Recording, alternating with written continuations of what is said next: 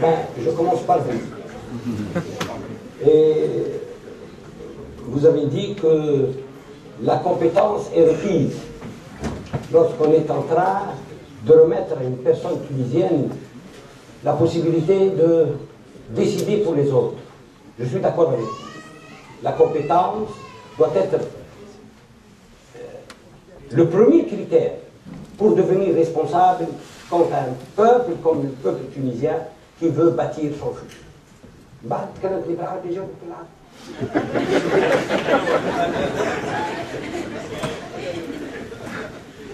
نحب نأكد مجددا وأن نظام نظام دخل جديد للحكم. مش يغلط غلطات كبيرة. مش يغلط غلطات تتعدى إحنا نفكر وقت اللي كان بورقيبة الله يرحمه مازال خلال الحكم. في عام 55 كوزير أول عام 56 كوزير أول في 20 مارس 56 وبعد في 25 جويلية 57 وقت اللي ولا رئيس جمهورية. الحكومة اللي تكونت في تلك الفترة كانت حكومة حكومة استعملت صغار. آه، في في وزير الإعلام وقت عمره 21 سنة. 21 سنة وزير الإعلام اللي عنده جنة بشير بناح وفيها أحمد المستيري وقت عمره 30 ولا 30 عام صادق المقدم. كانوا شباب صغير. واحد زرباعي اللي كان زعيم الشباب. آه؟ هذوما وقت اللي يتكفلوا وقتها بالحكم آه لقاو قدامهم صحراء فاتحه لازموا باش يعربوا الإدارة ويتونسوا الإدارة. لكن عندنا بوليس لكن عندنا جيش لكن عندنا وزارة المالية وزارة الاقتصاد لديوانه كله تبلاها بسرعة. وقت أخطاء.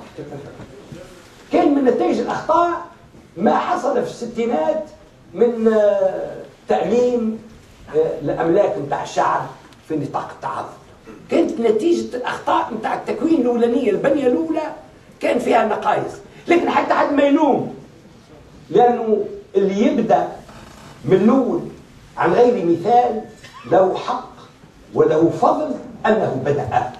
ولذلك إحنا الحكومة الحالية يلزم نحذروها باش ما تقعش في أخطاء قاتلة. هذه التسميات عن طريق القرابات وعن طريق الاصطفاء بني عمي وقاربي ولاد عمي ولا أصحاب فكرتي ولا أصحاب رأيي ولا أصحاب حزبي. هذا ما ينفعش تونس. وهذا باش يقعد وصمة عار في وجه كل من قام به. ومن حقنا جميعا أن ننبه وأن نشجب كل تسميات تقوم على هذا الأساس. من جملة البلاء اللي أصاب تونس الآن عملية الاستقطاب. نهار الأولاني وقت اللي حطينا سقينا في الركاب وبدينا نخدموا علاش تجبدونا وأن هذا إسلامي وأن هذا مش إسلامي؟ ولا فما تجاذب بين الأطراف؟ ووصلت الناس تشكك في وطنية بعضها وتشكك في تدين بعضها؟ مع أن القضية المطروحة مش هذه. القضية المطروحة كيفاش 10 ملايين تونسي يتعاونوا باش يبنيوا أنظمة يبنيوا مؤسسات تحميهم في الحاضر وفي المستقبل. وهذا لا دخل فيه بقضية الانتماء السياسي أو الانتماء الفكري. إحنا اليوم ماناش نوزعوا في خبزة وإنما قاعدين نوزعوا في أشغال. نوزعوا في مسؤولية. برشا مش فاهمين اليوم. وإنه كيف نعيطوا لهم ما يلزمش يجيوا على الخبزة باش يتقاسموها. يلزم يجيوا على المشقة باش يتحملوها. واحد يحكي لي كان واقف في كاميون في قصر الصعيد فما معامل غادي. مسكين واقف في كاميون وطلع فوق الكاميون كيف شاف الخدامة خارجين من المعمل عيط لهم. جا من جرار وين طلعوا؟ طلعوا في الظهر نتاع الكاميون. قال يا ولدي عيط لكم باش تدزوا مش باش تركبوا التوانسه يلزم فيهم اليوم وانهم اللي عيط لهم عيط لهم باش يدز. مش باش يركب؟ ما فما فين تركب اليوم؟ فماش منافع باش نلموها. اليوم فما آلة واقفة بلاد واقفة نحتاج باش نقدموا الاقتصاد نتاعها بشكل خاص.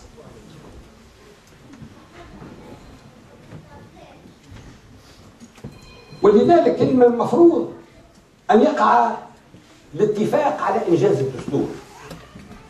أنا أذكر الأيام الأولانية في عياض بن عاشور. قال أنا نجم نحضر الدستور في 20 يوم. جاوب الصادق بالعيد قال نحضر الدستور في 10 أيام. وهذا أمر طبيعي جدا.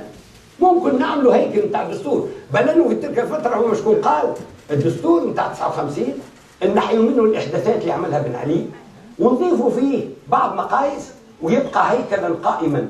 والدستور بتاع عام 59 راهو دستور تقدمي كي الدستور مضروب بالسفود مخدوم مليح راهو عنده إمكانية وطاقة باش يعيد مده من الزمن. وأنا كنت الأيام الاخيره في أمريكا زرتها هذه رابع مرة في ظرف أربع شهور ولا خمسة شهور. الدستور الأساسية.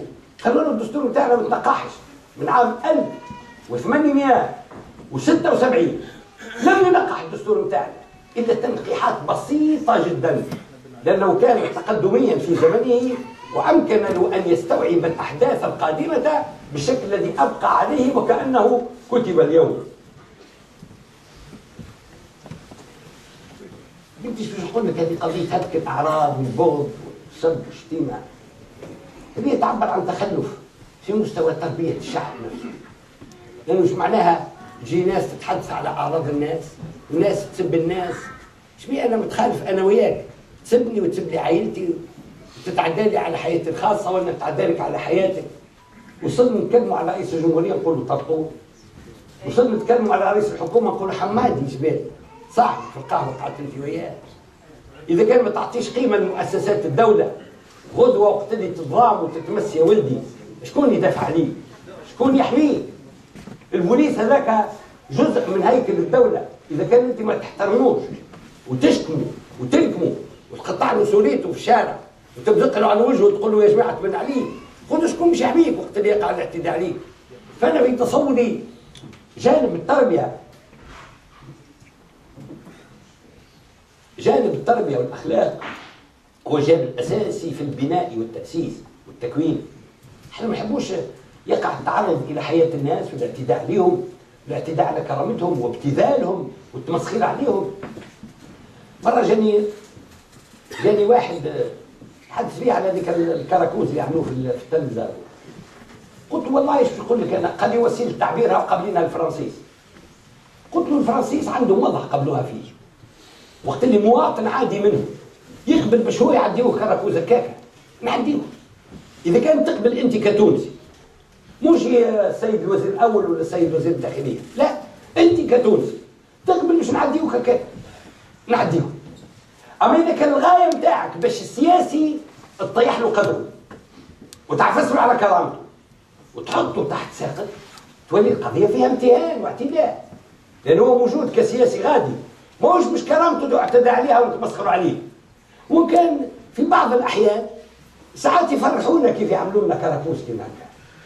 نمروا مرة جاوا يعملوا لي استدعاء أنا ومرتي ورقه جيت غدا ورقه ورقه استدعاء بلا فلوس باش نمشي نحضر في التياترو وأنا كنت نمشي للتياترو قبل الوقت اللي كنت فارغ شكون؟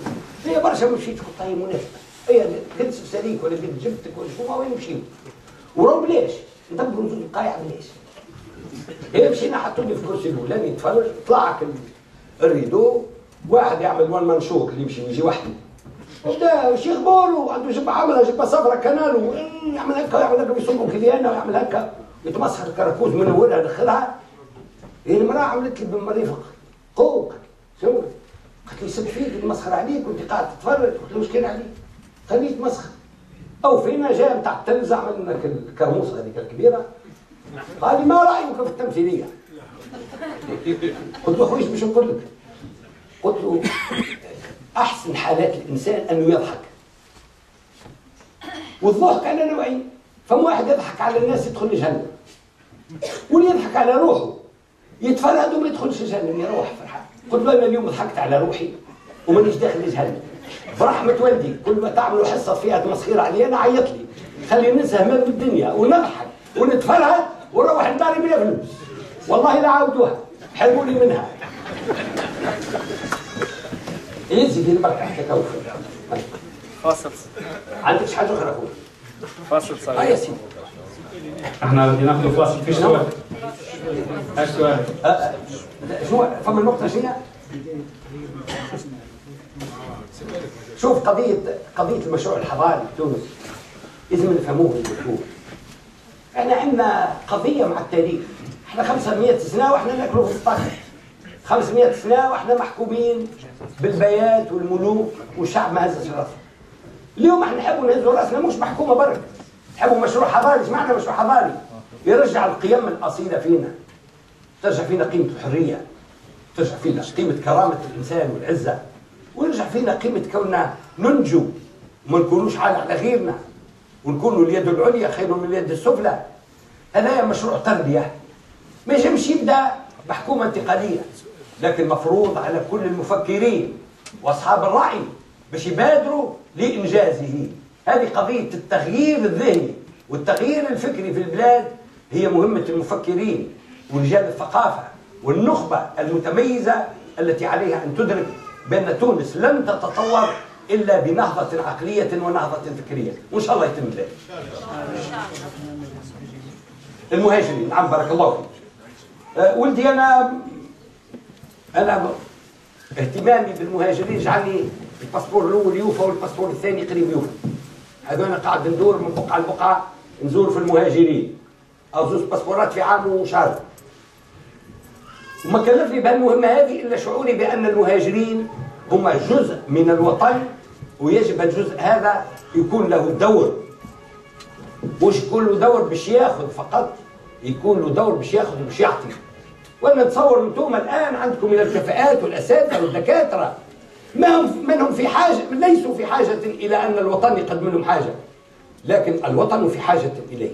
فضلا عن كوننا نحتاج باش نساعدوا الإجراءات للأخ المهاجر برا باش يكون قضاء لحوايجه ما هوش عبء عليه يثقل عليه الحياة يتعبه. لا في الرخص ولا في الوراق ولا في في في الدخول للبلاد ولا في الاستثمار. وأنا نتوقع اللي هذا الأمر هو محله اهتمام لأنه عملوا له كتاب الدولة. وعدني السيد كاتب الدولة قال لي باش نزور الإخوة في أمريكا وفي كندا. وحابب ما نرجع باش نطلب منه يزوركم فورا لتسوية هذه الوضعيات الإدارية اللي أنتم أصحاب حق فيها. في التكليف. الإقصاء. أيوه هذه هذوما كتبتم على الجنب وما فقتش بهم. قضية الإقصاء أنا ضد الإقصاء.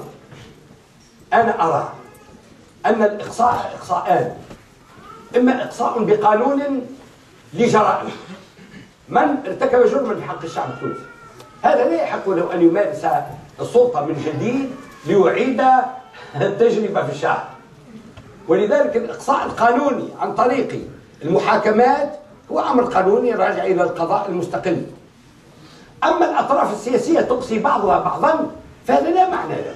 إيش معنى أنت تقصيني ولا نقصيك الذي يقصي دائما ابدا هو القضاء بحكم جرائم منسوبة لأصحابها وهذا رأي أعيده ولا زلت أعيده ومقتنع به. نفس الشيء. مشروع تحسين دورة داخل في الاتجاه.